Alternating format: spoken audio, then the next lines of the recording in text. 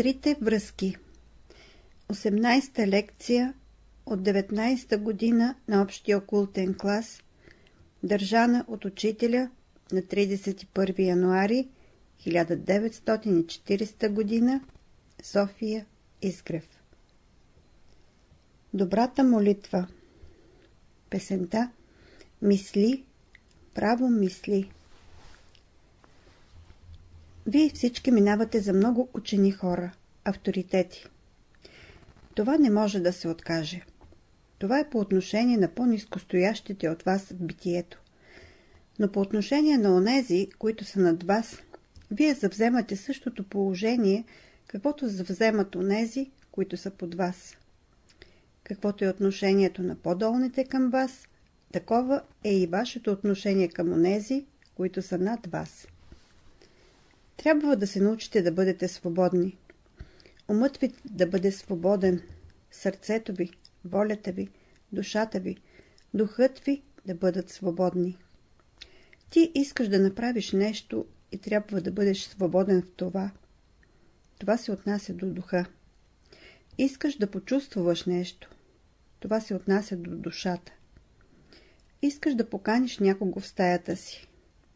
Стаята ти трябва да бъде свободна, за да му я дадеш. Ако в стаята има 10 души, ще бъде ли той свободен? Ще му дадеш една стая, в която да няма никой, и той да разполага с нея, както си иска. Някой път казваме да бъдем добри. Една работа кога е добра? Онзи, който говори на френски, кога го владее добре? Когато пише без погрешка и произнася думите без погрешка. Казваш, той знае френски език.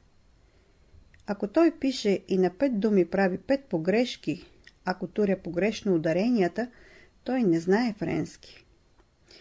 Българите с ударения много не се занимават, понеже е много сложно с ударения.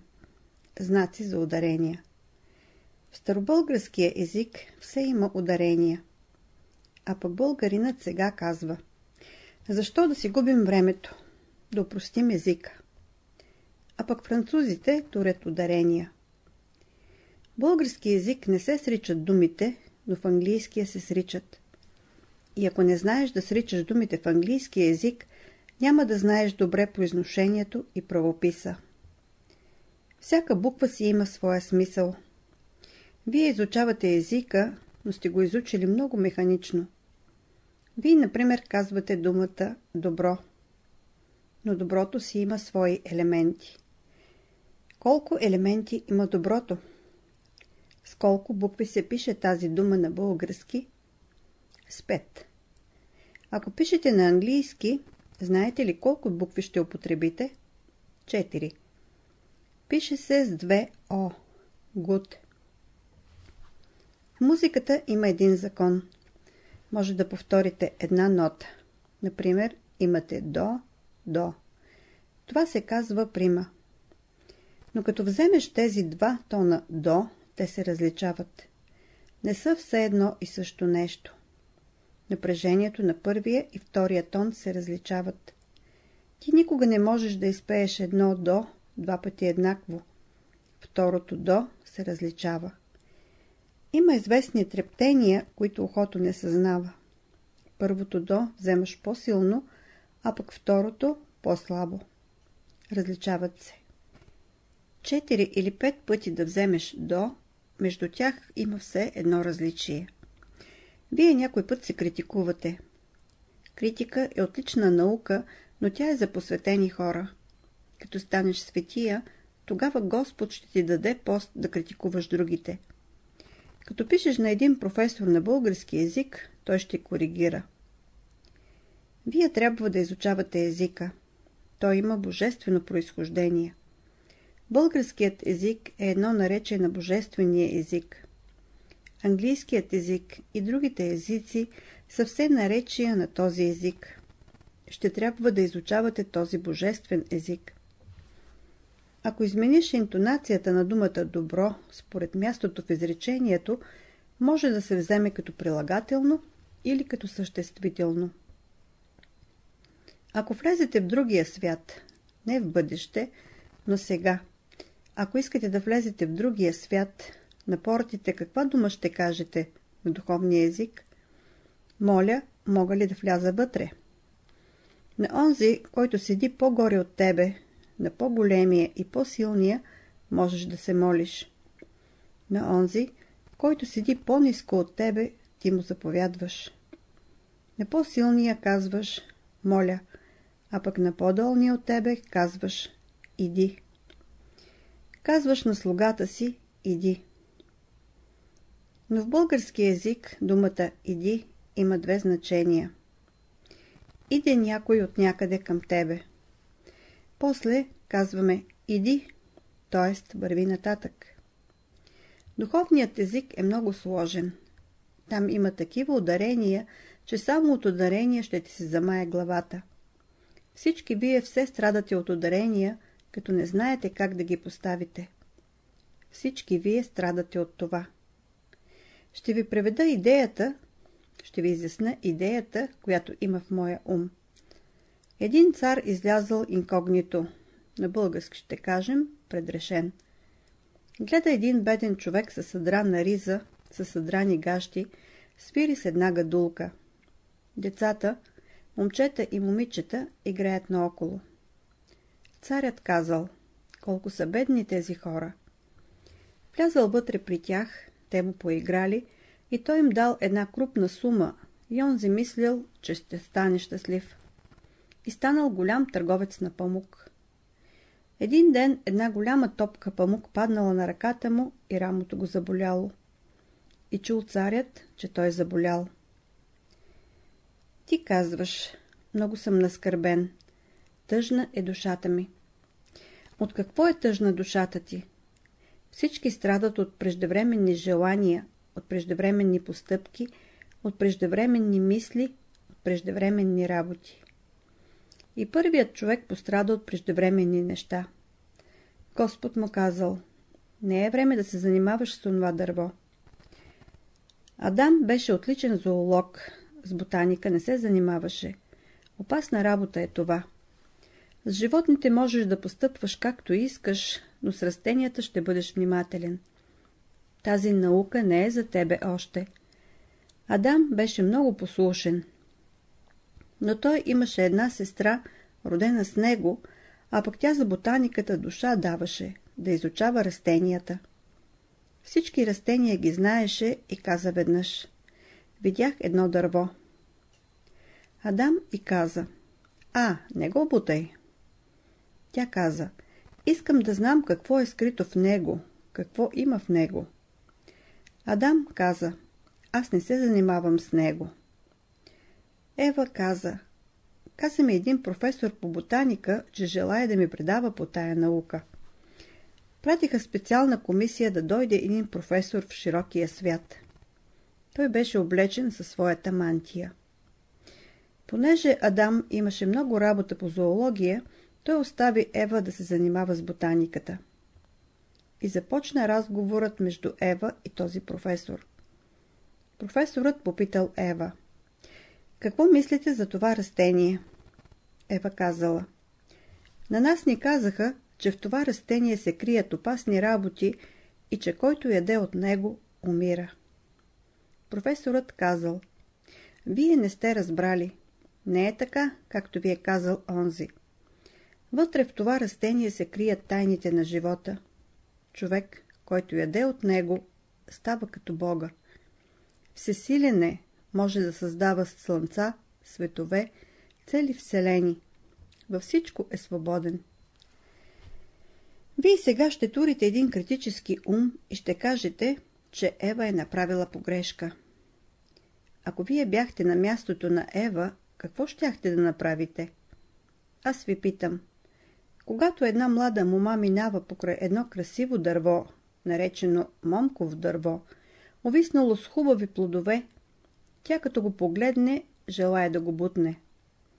Не бутай там. На нея се иска да вземе, да види какво е това момково дърво. Кажете ми, кой от вас би устоял на такова момково дърво? Представете си, че това е хлебно дърво, а вие сте гладен. Три-четири дена не сте яли. Има заблуждения в дишането, от които идат болестите. Има много системи за дишане и в Индия, и в Европа. Всички тези системи не са направили хората щастливи. Ти казваш, трябва да мислим. Хубаво, но колко хора мислят правилно? Ти трябва да знаеш да мислиш правилно, иначе ще си навлечеш неприятности. Казваш, човек трябва да живее. Добре, но как трябва да живее? Ние живеем, но този живот, в който живеят хората, не е онзи живот, към който ние се стремим. Аз не искам сега да спрете критикуването. Критиката я оставете за бъдеще, за по-нататък. Ти казваш, аз не можах да използвам живота си. Мога да ви запитам, защо не можахте да използвате живота си? Да допуснем, че имате един богат човек. Той е бил богат, живял е трезвено, вино не е пил, на автомобил не се е качил, купринени чорапи не е носил, хубава шапка не е турил на главата си, купринена риза не е носил, кокошки, пуйки не е ял. Въздържал се е. Баница не са му точили, сладкиши не е ял. И казваш, не можах да си изживея. Хубаво. За да бъдеш щастлив, това, което го носиш, трябва да те обича и ти трябва да го обичаш. Твоите обуща трябва да те обичат и ти трябва да ги обичаш. Ако ти не ги обичаш и те не те обичат, ти щастлив не можеш да бъдеш. Ръкавиците ти трябва да те обичат и ти да ги обичаш. Ти казваш да гледам всичко.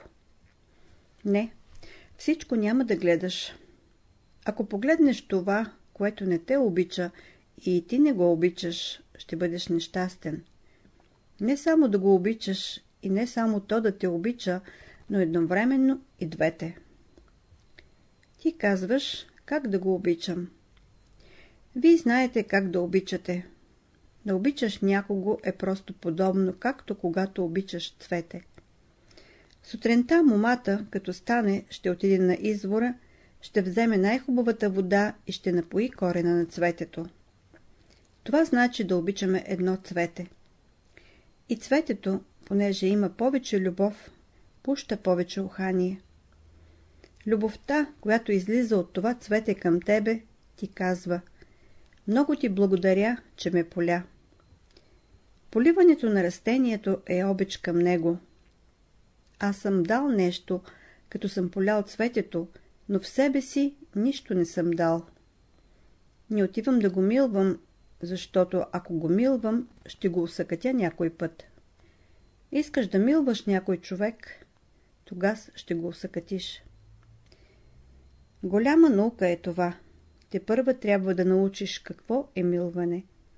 Бог, за да ни милва, трябва да ни изпрати топлина, светлина, въздух. Вие мислите, че трябва да милвате с ръцете си. Знаете ли колко са груби ръцете? Ако пипна сухо дърво и то оживее, тогава ръцете са богати.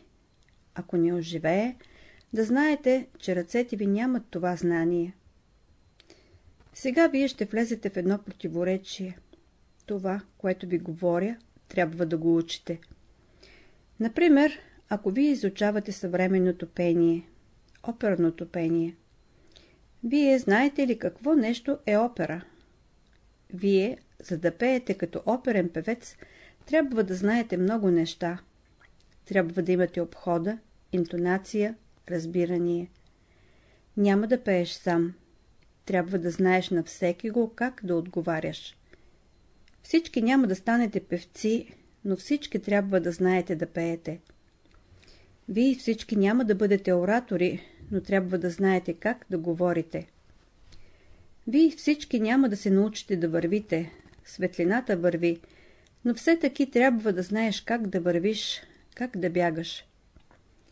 Има хора, които като бягат, правят големи крачки, а пък други правят малки. Каква е разликата между тези, които, като бягат, правят големи крачки и други, които правят при бягане малки крачки. Онзи, който прави големи крачки, той е много оплашен, а пък онзи, който прави по-малки крачки, е по-малко оплашен. Кое е по-хубаво? Да скачаш или да не скачаш? Да скачаш. По-добре е човек да направи някоя грешка и да е свободен, отколкото да не е направил погрешки и да не е свободен. Ако ви турят в едно шише, ще бъдете чисти. Няма да падне нито една капка от главата ви, но тая чистота не е достатъчна. Всички искате да бъдете чисти и свети, да ви затварят някъде. Вие имате чужди идеи. Ние сме излезли от ръцете на Бога, ние сме чисти.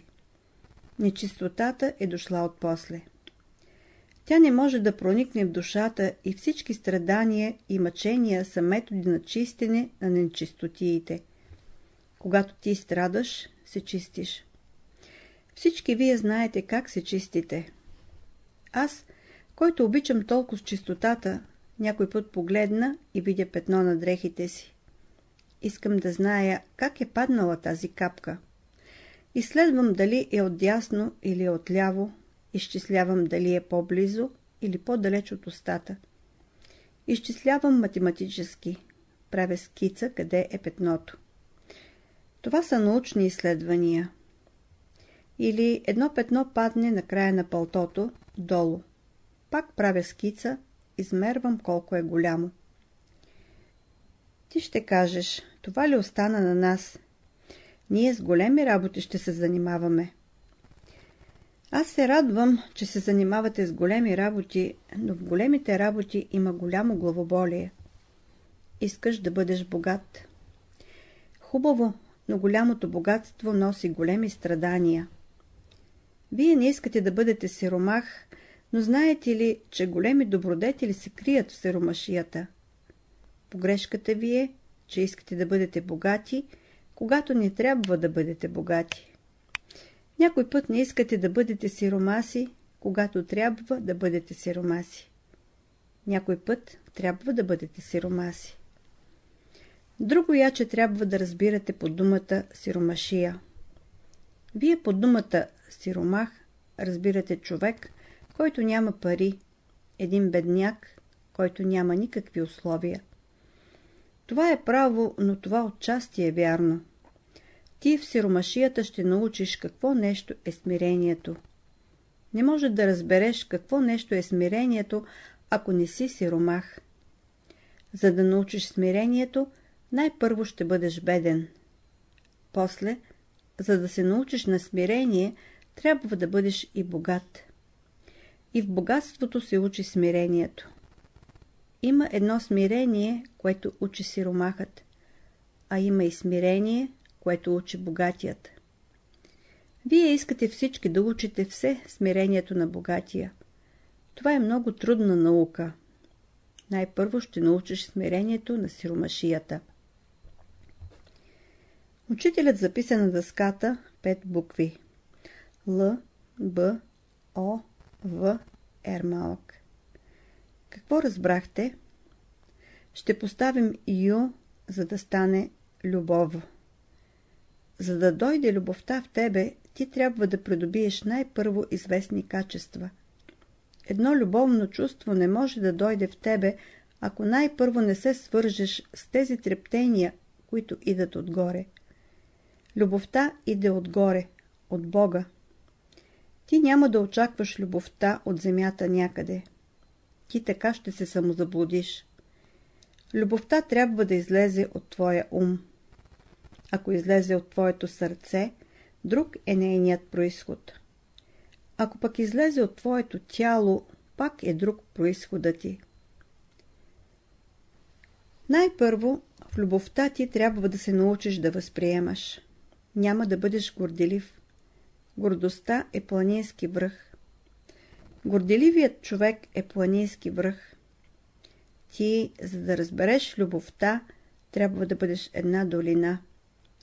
Това, което Бог ти дава, трябва да го възприемеш и да го обработиш. може да ти е приятно или неприятно, но ще трябва да я свършиш добре работата си. Всяка работа, добре свършена, носи благословение, а пък всяка работа, като не е добре свършена, не носи благословение.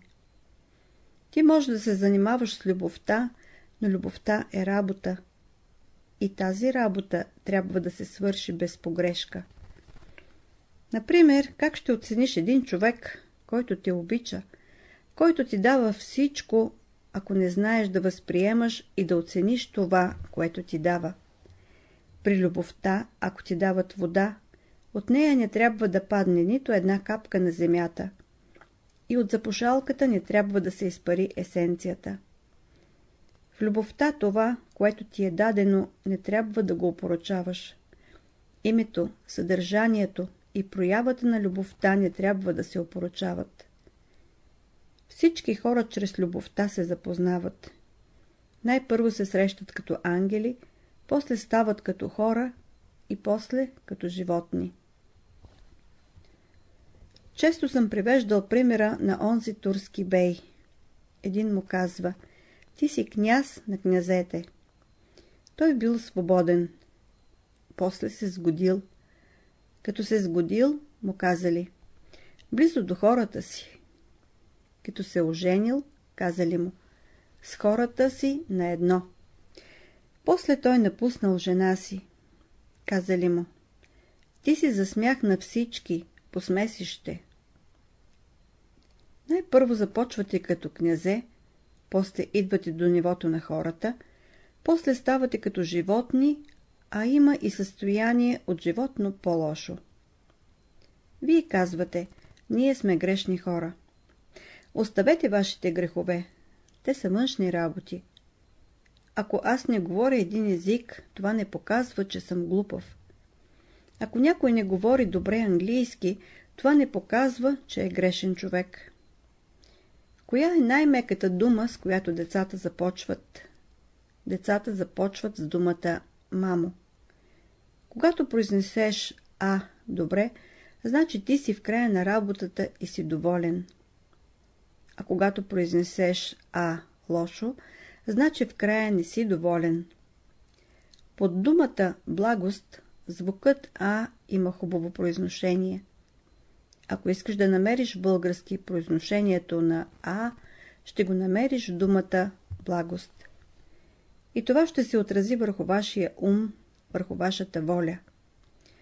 В буквата А ти си натоварен вече с някаква идея, с някое впечатление, с някое чувство. Искаш да извършиш някаква работа.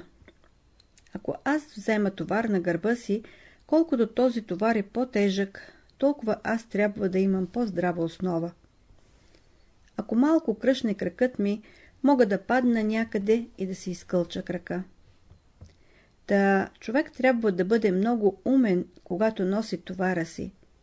Ти казваш, трябва да имаме една велика идея. Тази велика идея е в тебе. Някой път искате да имате големи скъпоценни камъни, злато. Богатите хора не са доволни, понеже златото е погълнало техните чувства. Света, ако искате недоволни хора, търсете ги между богатите хора, понеже сърцето им е отишло между богатите хора. Ти не можеш да отидеш при Бога, понеже си богат, понеже си свързан. На двама господари не може да се служи. Ти казваш, Господи, аз искам да ти служа, но паричките ми да не ми буташ. Ти можеш да бъдеш учен, можеш да кажеш Искам да ти служа, Господи, но знанието да не буташ. От известно знание трябва да се освободиш. Например, идеята ти за любовта, тълкованието ти за любовта. Ти казваш как да обичам. Ако ви попитат как да ви обичат, знаете – но как да обичате, всеки си има върху това свой метод. Аз не съм намерил два начина на любовта еднакви. Ти не можеш да обичаш всички хора по един и същи начин. Ако дадеш вода, всички хора не пият еднакво количество вода. И ако обичаш един човек, ще знаеш колко вода трябва да му дадеш, а не да плисне излишната вода. Това не е любов. Всичката вода, която му давам, трябва да я изпие и после трябва да има един плат и да изтрие с него, та нищо да не се изгуби. А пък ти най-първо обичаш един човек и после подхвърлиш любовта, като дреха. Така ти осъкътяваш себе си. В любовта ти най-първо ще се повдигнеш и после ще се унижиш. В любовта най-първо ти ще повдигнеш едно същество в твоето съзнание и мислиш, че той е съвършен и че има всички добродетели. И онзи мисли, че е намерил един поклонник и се зарадва. Един ден вие го вземете отвътре и го хвърлите в тинята. Каква е тая любов? Защо ще го дигнеш горе и после ще го хвърлиш? Защо ще имаш една хубава мисъл и после ще я туриш в кълта? Или имаш едно хубаво чувство и после го хвърлиш? Това не е ново. Най-първо ние грешим спрямо себе си, после спрямо нашите ближни и спрямо хората. Когато съгрешиш спрямо себе си, как ще се справиш с това? Вървиш по пътя и си удариш крака. Каква е тая погрешка? Направил си погрешката спрямо вашия крак и трябва да се извиняваш. Как ще я извиниш, когато удариш крака си? Ще вземеш чук и ще махнеш този камък от пътя. Но с това не оздравява кракът ти. Как се извинявате вие на вашия крак? Вие не му се извинявате, но казвате, стават такива погрешки. Обаче в истинския път на живота, щом тръгнеш, окото ти ще бъде отворено. Ще разгледаш целия път, ще гледаш по пътя дали има издигнато или гладко и ще внимаваш да не удариш крака си. Ако удариш крака си, нямаш уважение и почитание към него. Тогава нямаш уважение към доброто в света. Щом нямаш уважение и почитание към доброто, ти не можеш да го направиш.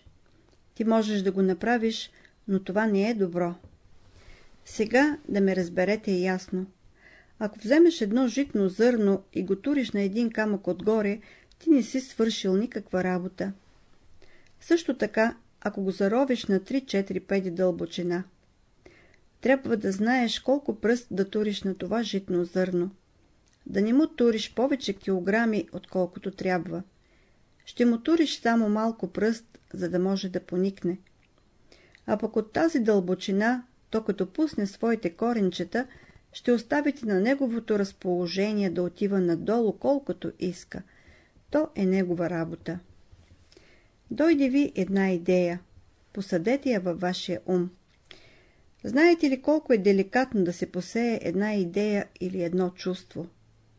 Ако влезете в един склад, дето има барут, и ако имаш само една запалена кибритена клечка, знаете ли какво може да стане? За да се направи едно голямо зло, не мислете, че трябва една голяма причина. Ако имаш само една кибритина клечка, запалена, какво може да стане? Като влизаш в този склад, няма да носиш кибритина клечка, няма да има железа на обущата ти отдолу. Ще влезеш с плътнени обуща, за да не стане взрив на взривното вещество. Такива взривове постоянно стават във вас. На ден колко пъти стават такива взривове? Например, казват ти. Знаете ли, твоята дъщеря кой път е хванала? Днес я видях в кабарето с един момък. Казвам. Ако златото падне в кълта, става ли накал? Знаете ли какъв студ има в пространството, през което слънцето пътува? Външните условия не са могли да изгасят слънцето. Вас ви е страх да изгаснете. Човек изгасва само при едно условие – при дървото за познаване на доброто и злото. Прекъсва се връзката между човека и Бога. И там е всичкото зло. Злото прекъсва връзката, която съществува между човека и Бога. И щом се прекъсне тази връзка, ти тогава постоянно почваш да се смаляваш. И щом се смалиш, няма изход от никъде. Ти умираш един ден от смъртта. И ние умираме, понеже прекъсваме връзката с Бога. Щом си свързан с Бога, ти си във вечния живот. А щом прекъснеш връзката, ти влизаш в друг свят. И светът на смъртта е реален, но там почват страдания и противоречия, в които няма разрешение. Ти казваш, аз обичам Бога. Под това разбирам. Или аз го обичам, или Бог ме обича. Когато Бог ни обича, аз трябва да възприема Неговата любов и да пазя тази връзка свещена. И единствената връзка, която трябва да пазя свещено, е връзката на любовта. Ще я чистиш, за да няма прах, фин прах. Да кажем, че имате една свещена идея. Сутринта, като станете, колцина вземете и я чистите. И после, като четете, отцапате страниците. Ще си умиеш ръцете хубаво и тогава ще четеш книгата. Ако отцапаш книгата, и ума си ще отцапаш. Ако свири някой на пияно с нечисти ръце, тогава клавишите ще се отцапат. Аз гледам някой път клавишите отцапани. И ви гледам на някого какви му са дрехите, обущата, гледам как си чеше косата. Някой път му гледам очите. Да видя как гледа, дали гледа нагоре, надолу или настрани. За мен е всеки човек го меря. Има една жица на любовта и гледам на къде е погледът му. И гледам на къде е погледът на човека. Ако погледът му е надолу от жицата, той е материалист. Ако е отляво, обича да насилва. Ако е отдясно, обича да използва хората. Ако гледа нагоре, той има нещо благородно в себе си. Някой започва добре. Най-първо поглежда нагоре, после наляво, надясно и след това надолу. Но после не си вдига очите нагоре. Той е вече направил първата погрешка. Нагоре, надолу, настрани и после пак нагоре.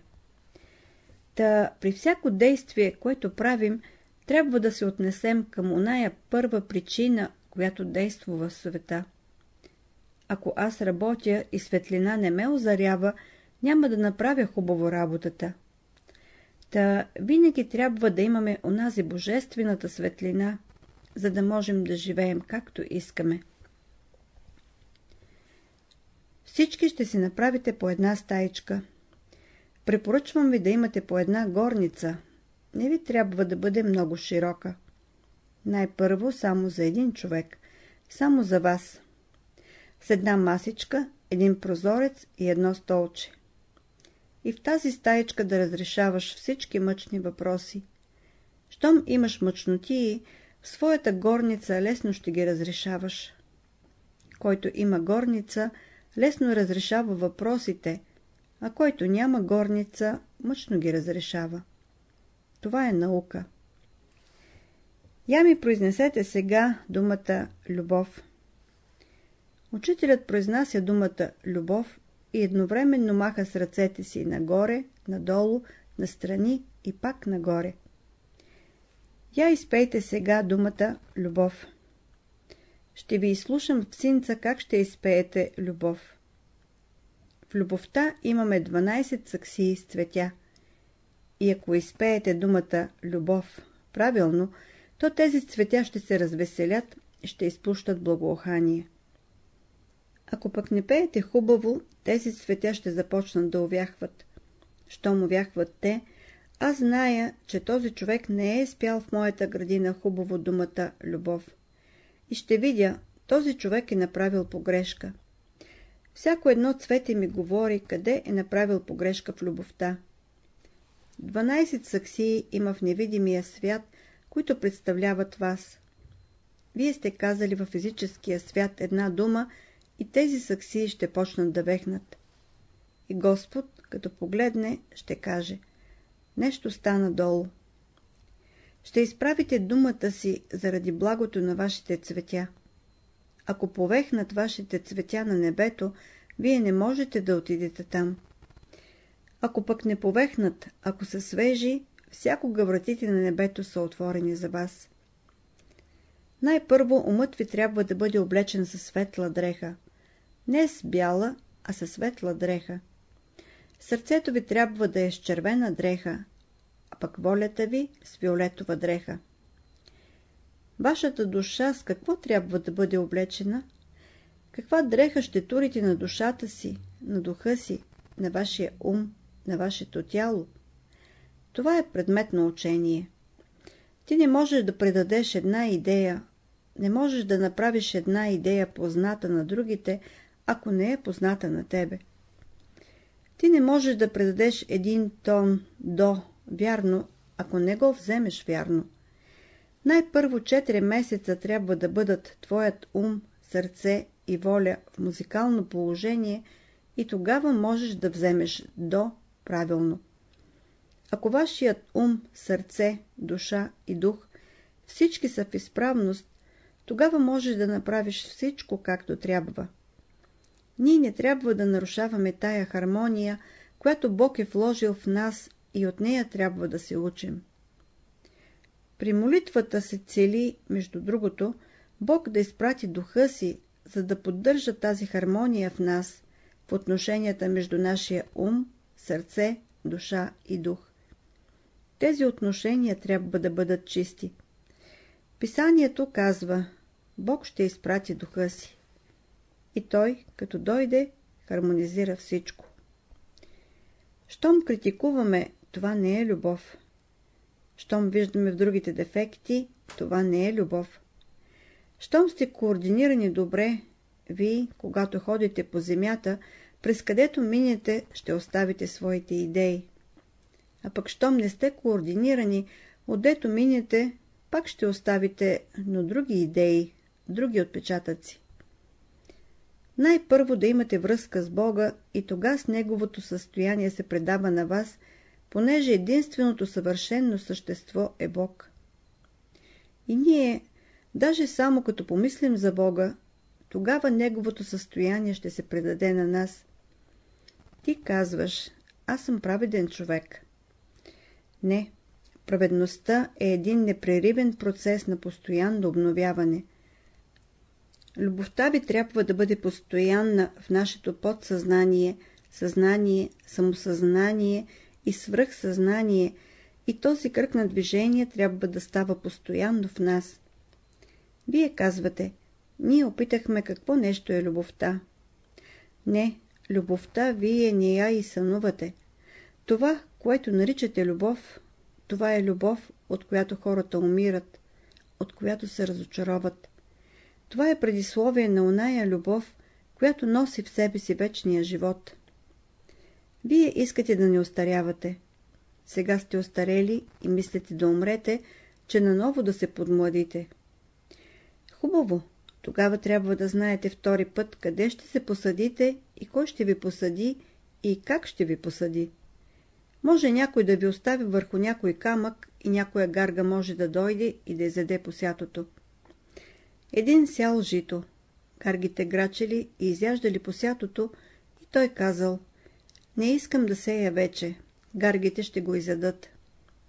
И се обесърчил. Казал Гаргите изядоха всичко. Той гледа, че и крината се е изпразнила вече. Казвам, да напълни пак крината и като се наедат всички гарги, пак да остане. Целият хамбар няма да го изядат гаргите. Сто гарги, хиляда гарги, колко ще изядат? Та не се обесърчавайте от несполуките във вашия живот. Ти казваш, това не става, онова не стана. Гаргите изядоха житото. Това не постигнах, онова не постигнах. От сега нататък трябва да постигнете. И какво трябва да постигате? Които сте остарели, казвате, оставете младите да му мислят. Не, старите да му мислят, а пък младите да работят. Между млади и стари трябва да има една много интензивна връзка. Най-първо не мислете, че сте стари. Изхвърлете тази дума старост. Вие си давате много голямо значение, като се мислите за стар. Един от вас ми казва, толкова с дългове имам, пари нямам. Друг казва, болести имам. Трети казва, имам големи недоразумения с другите. Четвърти казва, службата си не съм уредил. И всеки ми казва, уредете тези външните работи и тога сме говорете за Божественото. А пък аз ви казвам, вие сте горе на едно дърво и сега зреете. Аз не искам преждевременно да озреете и знаете ли защо? Защото, ако озреете преждевременно, свинете ще ви изядат. Ще дойде вятър, ще ви раздруса и свинете ще ви изядат.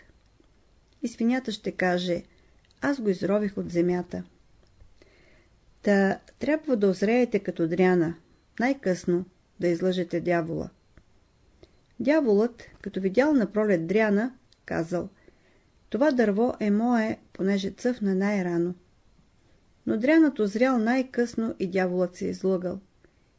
И дяволът казал Ще те направя як, тъй като биеш хората да носиш моите страдания, които аз минах. Дяволът казал Ти си пръв, който си по-майстор от мене да ме излъжеш. Та дяволът наказа Дряна за лъжата, която му каза. Бащата казва на сина си, че го е излъгал. Значи в този случай синът е по-майстор от баща си. Ако синът се опитва да излъже баща си, то и бащата лъже. Ако синът не се опитва да лъже баща си, и баща му не лъже. Вие сега ще направите едно заключение. Хората имат двама бащи. Бог казал на Адама. Синко, от това дърво излиза лъжата, а тя е, която носи голямо нещастие в живота. Няма да ядеш от него никога в живота си. Никога в живота си няма да лъжеш, ще говориш всякога истината. Щом кажеш първата лъжа, му казал Господ, ще умреш. Няма да ядеш от дървото на доброто и злото, значи няма да казваш лъжа. Щом кажеш най-малката лъжа, ти си ял от забранения плод. Яш от дървото на живота, т.е. яш от дървото на истината. Ти като направиш една погрешка, идва лъжата. Криеш погрешката от себе си, от ближните си и от Бога. Не, че трябва да отидеш да я казваш. Ни най-малко ни я разправяй. Що ме разправяш на ближния си, ти искаш те да ти помогнат. Щом ме изповядаш на Бога, искаш Той да я изправи. Ако можеш да си помогнеш сам, да я поправиш, тогава не ходи при Бога и при ближните си. Ако не можеш сам, тогава иди при ближните си и при Бога. Аз не говоря за големите погрешки, аз говоря за някои, които отпосле могат да станат погрешки. Например, ти държиш една чаша хубаво вино. То е само 50 грама. Няма никакво зло в тази чаша. Можеш да пиеш, но ако ти почнеш често да употребяваш тази чаша, след това можеш да станеш пияница. Ще образуваш един навик и ще изгубиш науката си. Имаше един учен човек, професор, който умира от малката чаша. Учен, способен човек беше. Аз искам тази сутрин да бъдете свободни от тези терзания, които имате в ума си. Някой път казваш, този не ме обича, онзи не ме обича. Някой може да мисли, че не го обичам. Аз съм недоволен от него, понеже няма какво да ми даде. И той не ме обича, понеже и аз няма какво да му дам. И двама не се обичаме. Тогава ще се хванем за ръката един друг и ще отидем при някой, който ни обича, т.е. който може да ни даде нещо. И тогава от това, което ни даде, можем да се дадем нещо един на други. Тогава вие двама, които не се обичате, идете ръка за ръка при онзи, който ви обича. И ако той не ви обича, тогава се хванете и с него за ръката и идете при някого, който ви обича и си напълнете стомничката. Вие, които не се обичате, ще се хванете ръка за ръка. Това е възможно. Има една любов на безлюбието. Тя е най-безкорисната. Хванеш го за ръката, но нищо не очакваш, не искаш да вземеш. Едвам го търпиш. Някой път хванеш някоя кокошка и видиш, че е мършава и я оставиш. А пък като видиш, че е мазна, я едеш. Вие се радвайте, че не ви обичат. Та казвам, безлюбието в света има една добра страна. Някой човек не ви обича и казва, аз не искам да ви обичам, понеже сме бедни. Идете при някого, който може да ви обича. Когато си недоволен, да знаеш происхода на недоволството. Когато се усетиш радостен, да знаеш происхода на радостта и трябва да умееш да я задържиш, понеже ще дойдат лоши условия. Тога с радостта е едно богатство и ще можеш да извадиш от него при трудни условия. Иначе ще се намерите един ден в трудно положение. Искам да изгоня от вашия ум страха. Страх не трябва да има. Само един страх да остане у вас. Един страх се позволява. Страх да не прекъснеш връзката на любовта. Свещен страх да имате да не прекъсвате връзката си с Бога, с любовта. За любовта, за Бога, както вие разбирате, дръжте това разбиране, което имате. Моето разбиране е заради мене. Ако за тази връзка говорите по-малко, по-е хубаво. Което аз направя, то ще свидетелствува за мене. Това, което не мога да направя, то не може да свидетелствува. Казвате на някого, че го обичате. Той ще ви постави на изпит. Казвате на един беден човек, че го обичате. Той ще каже – може ли да ми направите една услуга, да ми дадете нещо? Ако сте лекар и му кажете, че го обичате, той ще каже, моля, не може ли да ме излекувате? Та всички проповядвате една любов, за която нищо не правите. Мислите ли, че като нарисуваме едно цвете на дъската, че това е едно цвете? Посади едно семенце и нека цветята сами за себе си да говорят. В новото учение благото, божественото благо трябва да дойде от Бога. Но законът е следният. Това благо някой път право до вас не може да дойде. Трябва да мине през някоя среда. Например, светлината минава през въздуха. И благодарете, че минава през въздуха. Има една опасна страна, която носи със себе си светлината, която иде от пространството и въздухът трябва да задържи нещо от тази светлина, за да я нагоди към вас. Божествената любов ще мине през онзи човек, който ви обича, за да се приспособи Божествената любов към вас. Всеки човек, който ви обича, е една среда за вас, през която ще мине Божествената любов, за да нагоди тая любов и за да може да я възприемете. Всеки човек може да ви бъде полезен и за всеки човек вие можете да бъдете полезен като една среда. Та божествената любов някой път трябва да мине през няколко хора, за да се приспособи и да дойде при вас. Всеки човек, който ви обича, той ви придава божествената любов без никаква примес, а пък онзи, който не ви обича, той дава любовта с примеси. А всяка любов без примеси носи радост. И всяка любов с примес носи страдание.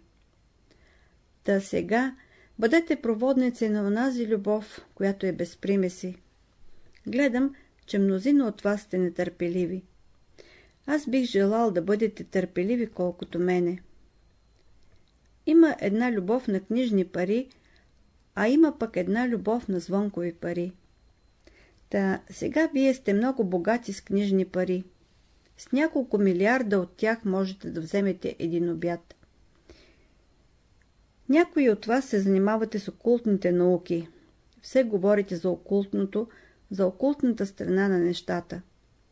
Окултна наука е една тайна наука. Това са като нашите естествени науки. Това е наука за външния свят, за придобивки, Наука да станеш човек силен и богат. Това не е мистичната страна, не е вътрешната страна на живота. Окултната наука е външната страна, а мистичната страна е вътрешната страна. Божественото е реално и то носи вечното в себе си. Вътрешната страна обхваща безграничната Божия любов, несъизмеримата Божия мъдрост и непобедимата Божия истина.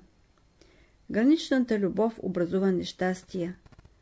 Граничната мъдрост образува нещастие. И победената истина носи страдания. Та, казвам, вие пристъпите към тази божествената наука и ще срещнете там мъчнотии. Не мислете, че в този свят, в който влизате, ще влезете лесно. Като влезете в божествената наука, ще минете през бойното поле, ще минават куршуми, но няма да ви ранят. Ако пък нямате тази наука, ще бъдете ранени навсякъде. Няма да имате място, дето няма да бъдете наранени по лице, ръце, крака и прочее. Ако пък имате божествена наука, куршумът ще мине само покрай дрехата ви. До вас хиляди ще падат и няма да ви повредят. Облечете бронята на любовта, облечете бронята на мъдростта, облечете бронята на истината и с тия три брони ще влезете да воювате. Не да бъдете страхливи. Сега имате да минавате през зор, но не през зор, но трудни задачи имате да решавате. До сега сте имали задачи с едно само неизвестно, а сега ще имате с 10 неизвестни. Първото нещо е благодарете на Бога, че сте дошли живи и здрави до това положение. Като погледнете, кажете Слава Богу, минахме. Благодарете и като тръгнете напред, назад не се обръщайте, а напред гледайте. Хубавото да седи пред вас. Този свят, от който сте излезли, не го гледайте. Не да се простите с него, но да не се безпокоите. Носете си едно знаме. Като искате да погледнете онези, които идат подир вас, дигнете знамето и кажете Напред, напред, тук има път. По този път вървете. Всеки да си носи своето знаме. Няма да остане нещо, което няма да ви вземат. Страданието и мъчението в какво седят? Те седят в следното. В турско време, като дойдат разбойници, дадат им всичко и разбойниците заминат, вземат парите. По някой път турят горещи железа на врата, за да изкаже къде са парите. Това е мъчението. Някой път ще има страдание, само ще ви вземат. А пък някой път ще има една верига на врата. А пък ако вървите по този път, за който ви казвам, вратът ви ще бъде здрав и разбойници няма да има във вас. Отвън може да имате мъчнотии, други мъчнотии няма да имате. Любовта е, която спасява хората. Мъдростта е, която урежда живота на хората, а пък истината е, която дава свобода на хората. Бог е, който ще внесе в нас вечния живот, ще ни даде знание и ще ни освободи. Единствен Той е, който освобождава от разбойниците. Та казвам, пазете важни три връзки. Връзката на любовта, връзката на мъдростта и връзката на истината. В себе си никакви лъжи. Себе си няма да лъжеш. Ближния си няма да лъжеш и Бога няма да лъжеш. Трима няма да лъжеш. Себе си, ближния си и Бога. Какво ще кажете на един камък? Ще му кажеш, за да не те тъпчат хората, ще те турим на страна. Като го туриш на страни, причината не е само в това, че го тъпчат хората, но и за да не пречи на хората. Бъдете сега свободни. Сега вие ще се изпоплашите. Влизате в един свят и ще започне да ви е страх. Казвам ви, това направете, онова направете. Ти казваш, какво трябва да правя? Някой ще каже, много хубави дрехи да не носиш, обуща да не носиш, да ходиш с обуща, които Бог ти е дал, с ръкавици, които Бог ти е дал. Всеки от вас може да носи обуща, каквито иска, да носи дрехи, каквито иска, да носи панделки, каквито иска. Някой носи в горния си джоб купринина кърпа. Какво лошо има в това? С това иска да каже, аз съм толкова работлив, както купринината буба. Пазете сега връзката. Вие божествената връзка не можете да я скъсате, но казвам. Не цапайте връзката си, понеже при най-малкото цапане на връзката, по която иде любовта, енергията на любовта не се предава правилно. Като станете сутринта, очистете тази нишка, за да се предава правилно любовта. Иначе идват всички недоволства. И всичко, каквото правиш, ще ти бъде приятно. Изчисти тази връзка и тогава, каквото правиш на земята, ще ти бъде приятно. Като ядеш, да ти е приятно. Като обичаш хората, да ти е приятно. Каквото правиш, да ти е приятно. Това е хубавото в живота. Отче наш